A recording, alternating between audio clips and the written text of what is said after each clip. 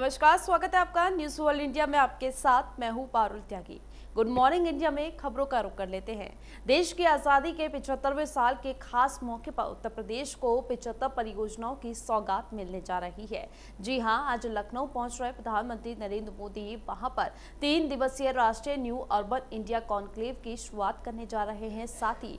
चार हज़ार सात सौ सैंतीस करोड़ की पिछहत्तर परियोजनाओं का लोकार्पण और शिलान्यास भी करेंगे।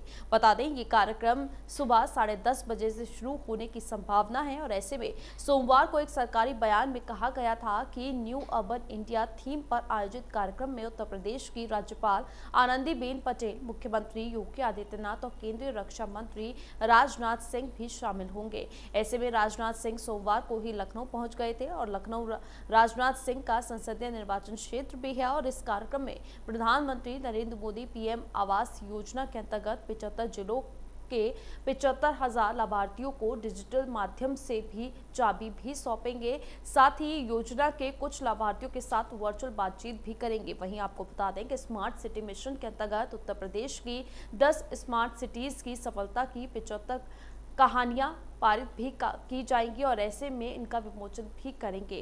इसके अलावा जनपद लखनऊ, कानपुर, गोरखपुर, झांसी, प्रयागराज, गाजियाबाद, वाराणसी के लिए पिचहत्तर इलेक्ट्रिक बसों को हरी झंडी दिखाकर रवाना भी किया जाएगा। वहीं आपको बता दें, एक्सपो में लगाई जा रही तीन प्रदर्शनियों का भी अवलोकन वो करेंगे। ऐसे में प्रधानमंत्री बाबा साहेब भीमराव अंबेडकर यूनिवर्सिटी लखनऊ में अटल बिहारी वाजपेयी पीठ की स्थापना की घोषणा भी वो करेंगे।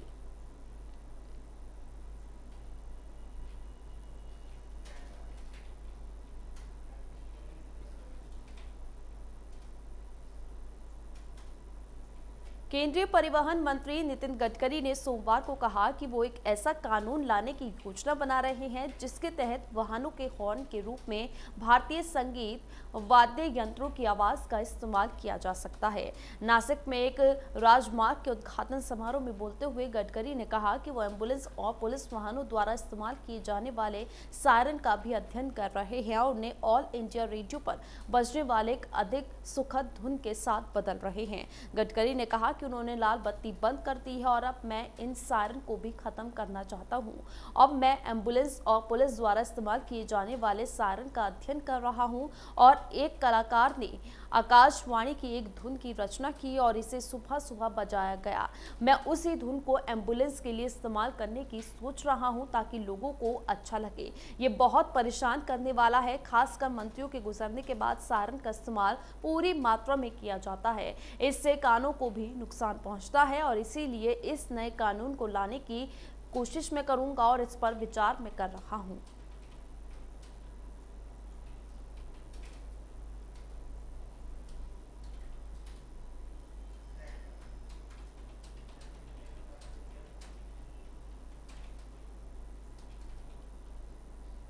उत्तराखंड सरकार ने राज्य में विधानसभा चुनाव से पहले और यूपी, दिल्ली और हरियाणा, पंजाब में चल रहे किसान आंदोलन के बीच जिलाधिकारियों की शक्ति में बड़ा इजाफा किया है। जी हाँ, राज्य सरकार ने जिलाधिकारियों पर राष्ट्रीय सुरक्षा कानून यानी कि रासुका लगाने का अधिकार दे दिया है। राज्य सरकार ने तीन महीने के लिए डीएम को यह अधिकार दिया है और जिलाधिकारी के पास ये अधिकार होगा कि वो स्थिति की समीक्षा करने के बाद किसी भी व्यक्ति पर राष्ट्रीय सुरक्षा कानून लगा सकता है। राज्य सरकार ने कहा है कि समाज विरोधी शक्तियाँ कई ऐसी गतिविधियों में हिस्सा ले रहे हैं जिससे राज्य की शांति व्यवस्था भंग हो सकती है। इसीलिए इन परिस्थितियों से निपटने के लिए ये कदम उठाया जा रहा है। ऐसे में राज्य सरकार के इस कदम का पूर्व मुख्यमंत्री और वरिष्ठ कांग्रेस नेता हरीश रावत ने विरोध किया है। उन्होंने ट्वीट करते हुए कहा कि उत्तराखंड में तीन महीने के लिए रास्को लगाने का निर्णय दुर्भाग्यजनक है।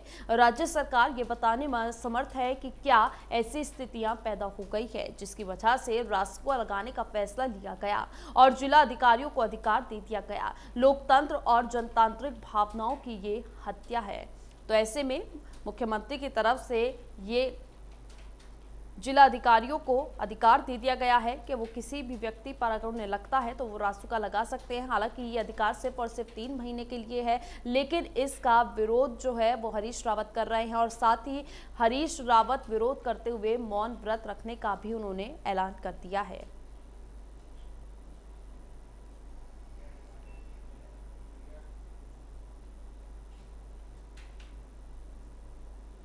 Social media platform Facebook, Instagram, WhatsApp ने छह घंटे से ज़्यादा समय तक डाउन रहने के बाद फिर से काम करना शुरू कर दिया है। जी हाँ फेसबुक, इंस्टाग्राम, व्हाट्सएप की वेबसाइट फिर से बहाल हो चुकी है। हालाँकि साइट अभी धीमी है। कंपनी का कहना है कि इस समस्या को पूरी तरह से ठीक होने में थोड़ा और समय लग सकता है। बता दें आपको कि फेसबुक ने ट्विटर पर कहा कि हमें खेद है, दुनिया भर के लोग और व्यापार पर हम पर निर्भर है। हम अपने ऐप्स और सेवाओं को पूरी तरह से बहाल करने के लिए कड़ी मेहनत कर रहे हैं। ये बताते हुए हमें खुशी हो रही है कि वो दोबारा से ऑनलाइन वापस आ रहे हैं। हमारे साथ बने रहने के लिए धन्यवाद। वहीं आपको बता दें इंस्टाग्राम की ओर से भी ट्वीट कर कहा गया था कि इंस्टाग्राम धीरे धीरे लेकिन निश्चित रूप से अब वापस आ रहा है और हमारे साथ बने रहने के लिए धन्यवाद और इंतज़ार कराने के लिए खेद है। दरअसल, सोमवार रात करीब सवा नौ बजे भारत समेत दुनिया भर के तमाम देशों में फेसबुक इंस्टाग्राम व्हाट्सएप डाउन हो गया था। ऐसे में भारतीय समय अनुसार मंगलवार तकरीबन सुबह चार बजे फेसबुक इंस्टाग्राम व्हाट्सएप की सेवा फिर से शुरू हो गई। यानी कि छह घंटे से ज़्यादा ये पूरी सेवा बाधित रही। हालाँकि अभी ये पता नहीं चल पाया है कि फेसबुक इंस्टाग्राम व्हाट्सएप इतने घंटों तक डाउन क्यों रहा है। और इसीलिए सोशल मीडिया पर भी काफ़ी ज़्यादा लोग परेशान हो गए थे। कुछ लोग ट्वीट का सहारा ले रहे थे, ट्वीट कर रहे थे, लेकिन उसके बाद छः घंटे तक ये सभी वेबसाइट्स नहीं चली, ये सोशल मीडिया प्लेटफॉर्म्स ने छः घंटे तक काम नहीं किया। उसके बाद आज सुबह चार बजे अब सभी चीज़ें सामान्य तौर पर चल चुकी हैं, लेकिन ये डाउन किस वजह से हुई थी, अभी इसका पता नहीं चल पाया है।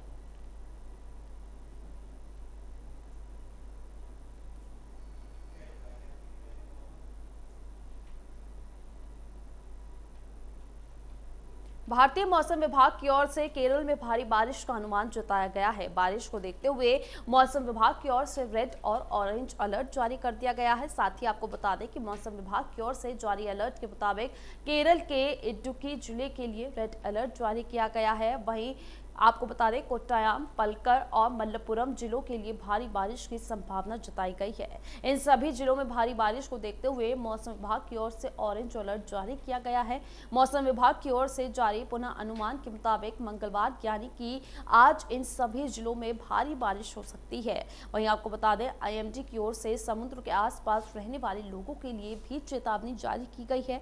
मौसम विभाग ने कहा है कि समुद्र तट के आसपास के क्षेत्रों, लक्षद्वीप क्षेत्र और दक्षिण पूर्व अरब सागर क्षेत्र में 40 से 50 किलोमीटर प्रति घंटे की रफ्तार से हवा चलने का अनुमान है और साथ ही मौसम विभाग ने मछुआरों को भी चेतावनी देते हुए कहा है कि 5 अक्टूबर तक, यानी कि आज तक, समुद्र में मछली पकड़ने न जाएँ और ऐसे में मौसम विभाग ने बताया है कि दक्षिण पश्चिम मानसून केरल में सक्रिय है।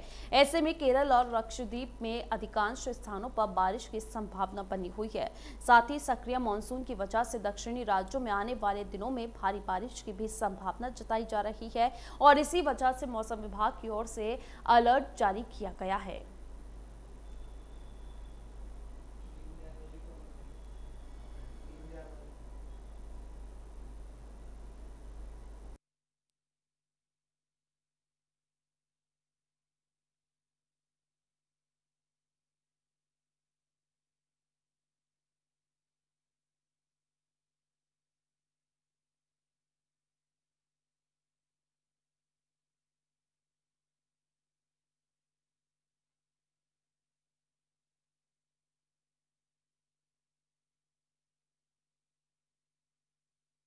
तो ऐसे में मौसम विभाग की तरफ़ से अलर्ट जारी किया गया है। केरल के लिए ऑरेंज और रेड अलर्ट जारी किया गया है। आपको बता दें, मौसम विभाग ने अलर्ट जारी किया है। हालाँकि अगर दिल्ली की बात करें तो दिल्ली में उमस भरी गर्मी से लोगों को सामना करना पड़ रहा है और ये उमस भरी गर्मी कब तक जारी रहेगी, इसके बारे में अभी तक कोई ऐसा अपडेट खास नहीं है। लेकिन केरल की बात करें तो वहाँ पर अभी भी मानसून सक्रिय है और ऐसे में वहाँ पर बारिश होने की संभावना है। आज भी वहाँ पर कई इलाकों में बारिश हो सकती है और साथ ही तटीय इलाकों पर भी बारिश होगी। इसके साथ ही मौसम विभाग विभाग ने उधर के इलाकों के लिए रेड और ऑरेंज अलर्ट भी जारी किया है।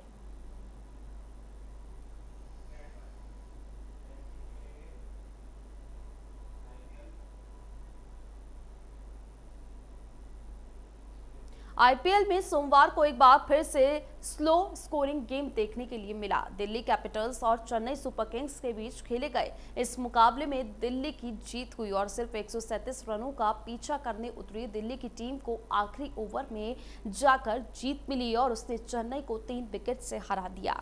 आपको बता दें, इसी के साथ दिल्ली कैपिटल्स की टीम एक बार फिर से पॉइंट टेबल में टॉप पर पहुँच गई और चेन्नई सुपर किंग्स ने इस मैच में पहले बैटिंग की और उसके सिर्फ़ 136 रनों का स्कोर किया। जब दिल्ली कैपिटल्स की टीम लक्ष्य का पीछा करने उतरी तो तेज शुरुआत मिली, लेकिन पृथ्वी शाह जल्द ही आउट हो गए। इसके बाद शिखर धवन ने अपनी टीम को आगे बढ़ाया, लेकिन दूसरी तरफ़ से लगातार विकेट गिरते रहे। वहीं बर्थडे बॉय कप्तान ऋषभ पंत भी कोई बड़ा चमत्कार नहीं कर पाए। दिल्ली कैपिटल्स और चेन्नई सुपर किंग्स का ये मुकाबला आखिरी ओवर तक पहुँचा, और ऐसे में दिल्ली को आखिरी ओवर में छह रनों की ज़रूरत थी, लेकिन ड्रिवेन ब्रावो ने पहले दो रन और फिर वर्ल्ड बॉल भी वाइट बॉल भी दे दी। हालाँकि इसके बाद अक्षर पटेल का विकेट गिरा, लेकिन अंत में खगीसो रबाड़ा ने चौका लगाकर दिल्ली कैपिटल्स की जीत हुई। आपको बता दें, आखिरी में दिल्ली के लिए शिरमन ने सिर्फ़ 18 बॉल में 28 रन बनाया और ऐसे में दिल्ली के खिलाफ चेन्नई की बल्लेबाजी इस बार भी फेल साबित हुई। ऋतुराज गायकवाड़ और फाफ ड्यू पैलेस अपना विकेट जल्द ही गवा बैठे और इसके साथ ही सुरेश रैना की जगह आए। रॉबिन उत्थपा भी कुछ कमाल नहीं कर पाए। चेन्नई की ओर से अंबाती रायडू ने नाबाद पचपन रनों की पारी खेली। वहीं महेंद्र सिंह धोनी भी कोई कमाल नहीं कर पाया और सत्ताईस बॉल में सिर्फ़ अट्ठारह रन ही बना पाए। साथ ही आपको बता दें कि बीस ओवर में चेन्नई की टीम ने इस तरह पाँच विकेट गवाकर सिर्फ़ एक सौ छत्तीस रन ही बनाए।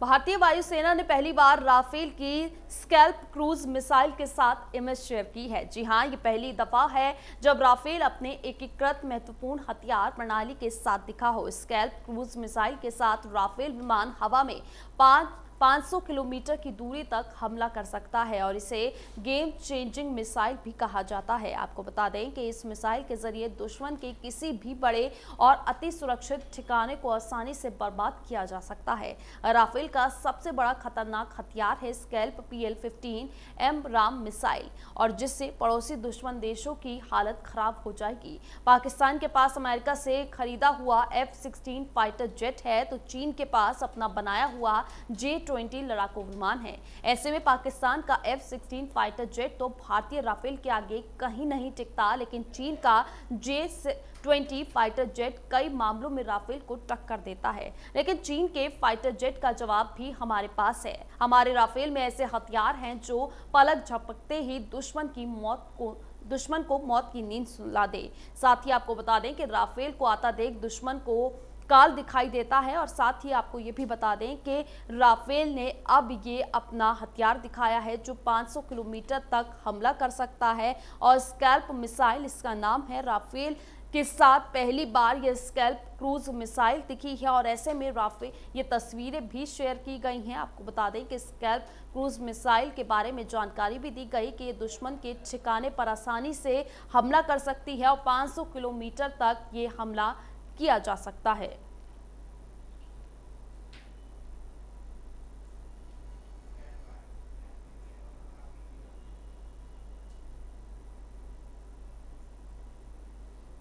उत्तराखंड जल विद्युत निगम और उत्तराखंड पावर कॉरपोरेशन लिमिटेड के अधिकारी और कर्मचारी एसोसिएशन के आह्वान पर दोनों विभागों के अधिकारियों कर्मचारियों की 6 अक्टूबर से अनिश्चितकालीन हड़ताल पर जाना प्रस्तावित है। हड़ताल देखते हुए जिलाधिकारी श्री मयूर दीक्षित ने जीवन रेखा से जुड़े विभाग के अधिकारियों की महत्वपूर्ण बैठक लेते हुए ज़रूरी दिशा निर्देश दिए।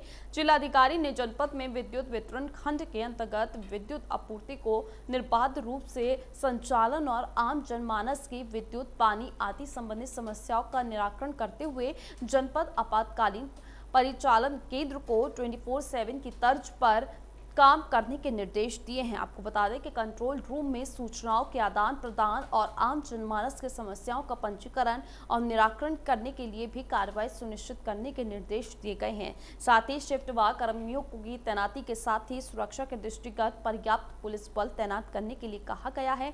वहीं आपको बता दें कि आपदा कंट्रोल रूम के दूरभाष नंबरों और zero one three seven four double two two seven double two को ये मोबाइल नंबर भी जारी किया गया है ताकि प्रचार और प्रसार करने के इसी के ज़रिए निर्देश भी दिए हैं, ताकि आम जनमानस अपनी समस्याएँ आपदा कंट्रोल रूम को बता सके और साथ ही ऐसे में टेलीकॉम प्रदाता कंपनियों को नेटवर्क कनेक्टिविटी सुचारू रखने के निर्देश भी दे दिए गए हैं। वहीं स्वास्थ्य विभाग को विद्युत आपूर्ति बाधित होने पर जनरेटर को सुचारू रखने के लिए ही ईंधन की पर्याप्त व्यवस्था सुनिश्चित करने के निर्देश दिए गए हैं। साथ ही संवेदनशील स्थानों पर अराजक तत्वों की निगरानी के लिए सीसीटीवी कैमरे लगाने के निर्देश भी जिलाधिकारी की तरफ़ से दिए गए हैं।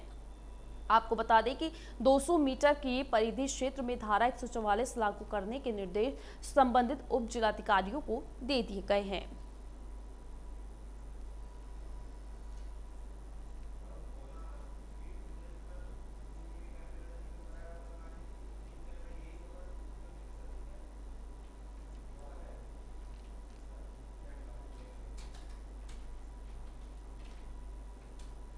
करीब 11,000 फीट की ऊंचाई पर स्थित दुनिया के सबसे खतरनाक रास्तों में शुमार गरतांग गली में सीसीटीवी कैमरे लगाने की तैयारी चल रही है। जी हाँ गंगोत्री नेशनल पार्क प्रशासन की ओर से गरतांग गली की निगरानी के लिए सीसीटीवी कैमरे लगाने के लिए पत्र लिखा गया है जिस पर पार्क प्रशासन का कहना है कि इसके लिए बजट भी उपलब्ध हो चुका है।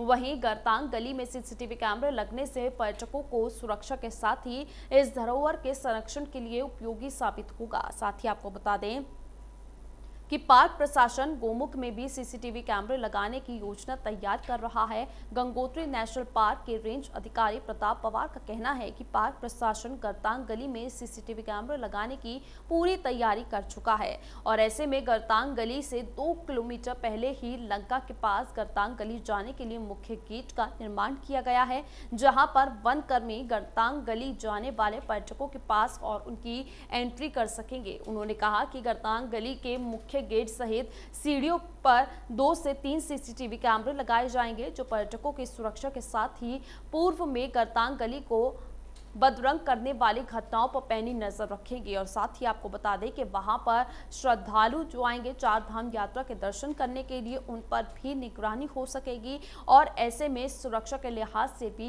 ये एक अच्छी पहल है।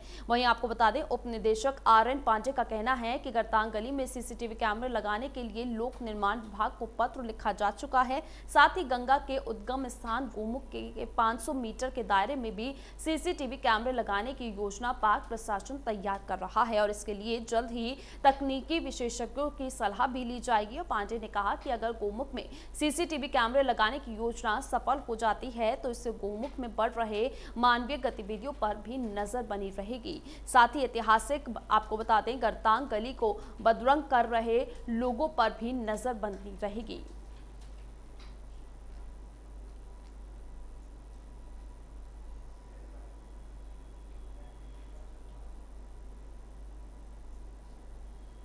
चलिए अब आगे बढ़ते हुए बात कर लेते हैं बॉलीवुड की। जी हाँ बॉलीवुड के खिलाड़ी अक्षय कुमार, जो इन दिनों अपनी आने वाले प्रोजेक्ट्स को लेकर काफ़ी व्यस्त हैं और अक्षय कुमार की फ़िल्म बेल बॉटम हाल ही में रिलीज़ हुई, जिसकी आलोचना की भी की गई, लेकिन उसके बाद भी अक्षय कुमार पूरी तरह से अपने आगे आने वाले प्रोजेक्ट्स पर काम कर रहे हैं। वहीं अब वो अपनी अगली फ़िल्म की तैयारी में जुटे हैं। आपको बता दें, अक्षय बहुत जल्द ही फ़िल्म रक्षाबंधन में नज़र आने वाले हैं। और इस फ़िल्म में उनके साथ भूमि पेटनेकर भी नज़र आएँगे। फ़िल्म की शूटिंग के लिए अक्षय दिल्ली पहुँच चुके हैं और वहाँ उन्होंने शूटिंग भी शुरू कर दी है। आपको बता दें, अक्षय ने अपने इंस्टाग्राम पर एक वीडियो भी शेयर किया, जिसमें वो चांदनी चौक में दौड़ लगाते नज़र आ रहे हैं। इस वीडियो को शेयर करते हुए अक्षय कुमार ने लिखा, रक्षाबंधन के सेट पर चांदनी चौक में दौड़ लगाते हुए कई पुरानी यादें ताज़ा हो गई, क्योंकि ये मेरा जन्म स्थान है और लोगों की बातें सुनना कभी पुराना नहीं होता है।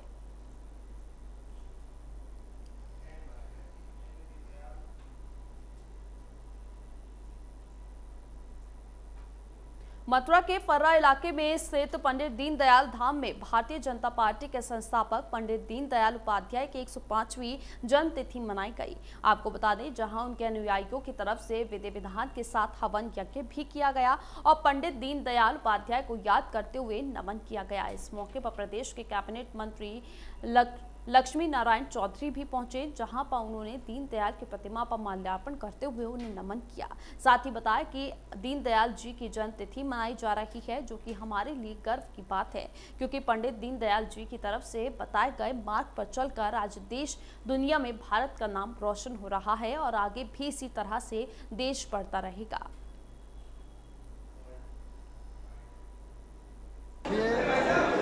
पंडित दीनदयाल उपाध्याय के हुए पर चलकर आज भारतवर्ष विश्व गुरु बनने जा रहा है। पंडित जी के मार्ग पर चलकर आज भारतीय जनता पार्टी विश्व की सबसे बड़ी पार्टी है।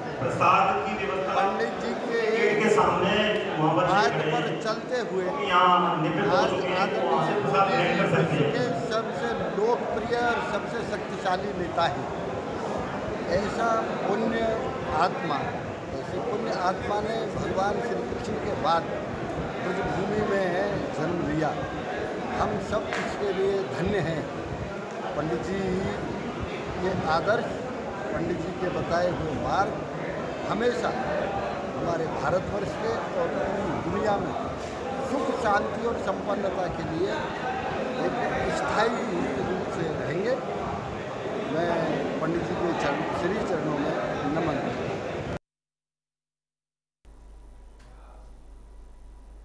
वहीं हरिद्वार के रोशनाबाद स्थित जिला कारागार में कृष्ण लीला के मंचन के बाद रामलीला मंचन के आयोजन की तैयारियाँ शुरू हो गई हैं। जेल अधीक्षक मनोज आर्य ने बताया कि अपराधी मानसिकता को बदलने के लिए जेल में रामलीला के मंचन का फैसला किया गया है और इस रामलीला में जेल में के कैदी ही रामलीला के कई पात्रों के रूप में हिस्सा लेंगे। वहीं नवरात्रि के पाँचवें दिन और दशहरे के दिन रावण वध का मंचन भी किया जाएगा। रामलीला मंचन में जिसने कृष्ण जन्माष्टमी मंचन में हिस्सा लिया था, वही वही अधिकांश कैदी रामलीला के पात्रों की भूमिका निभाएँगे। कई अन्य कैदियों ने भी रामलीला में अभिनय करने की इच्छा जताई है, जिसके बाद कैदी हर दिन शाम को रामलीला की रिहर्सल भी कर रहे हैं।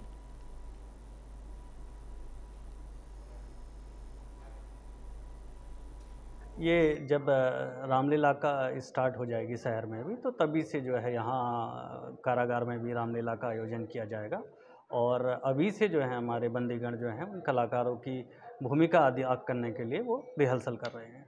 ये जो जो भी सामान लगता है, धनुष है, बाढ़ है, वो कारागार में ही हमारे बंदीगण तैयार कर रहे हैं और इससे पूर्व भी हम, मेरे द्वारा कारागार में जन्माष्टमी का आयोजन किया गया था। उसमें जो कलाकार थे, वही जो है रामलीला में भी भाग कर ले रहे हैं। इसके अलावा अन्य लोग भी जो हैं जो जन्माष्टमी का कार्यक्रम देख के जो एक उत्साहित हुए थे वो भी जो है रामलीला में अपनी भूमिका अदा करना चाह रहे थे, वो भी जो है इस आजकल रिहर्सल कर रहे हैं और रामलीला के विभिन्न पात्रों का जो है अभिनय वो रामलीला के दौरान करेंगे। सर्वप्रथम तो हमारा उद्देश्य जो है अपने बंदीगणों का ही मनोरंजन करना है और उनमें देश प्रेम की और भावना जागृत करना, आध्यात्मिक भावना जागृत करना। और उनमें अच्छे गुणों का विकास करना हमारा ये लक्ष्य है ये उद्देश्य है। और समय आने पर ये तय किया जाएगा कि किसको किसी बाहरी व्यक्ति को भी या बाहरी मुख्य अतिथि को भी बुलाया जाए या ना बुलाया जाए। वहीं केदारनाथ में दर्शन के लिए बनाए गए ई पास के आ, तरफ़ से आ रहे यात्रियों के लिए सोनप्रयाग में वेटिंग रूम की व्यवस्था की गई है। इसके अलावा यात्रियों को तुंगनाथ और काली मठ आदि धार्मिक स्थलों की यात्रा पर भेजा जा रहा है। आपको बता दें कि केदारनाथ यात्रा पर आने वाले तीर्थ यात्रियों की संख्या में लगातार इजाफा हो रहा है और ज़्यादातर तीर्थ यात्री बिना ई पास के ही पहुँच रहे हैं। ऐसे में ई पास वाले अधिकांश यात्रियों को वापस भेजा जा रहा है और कई तीर्थ यात्री जबरन सोनप्रयाग तक पहुँच रहे हैं। सोनप्रयाग तक पहुँच रहे यात्रियों के लिए प्रशासन ने वेटिंग रूम की व्यवस्था भी की है।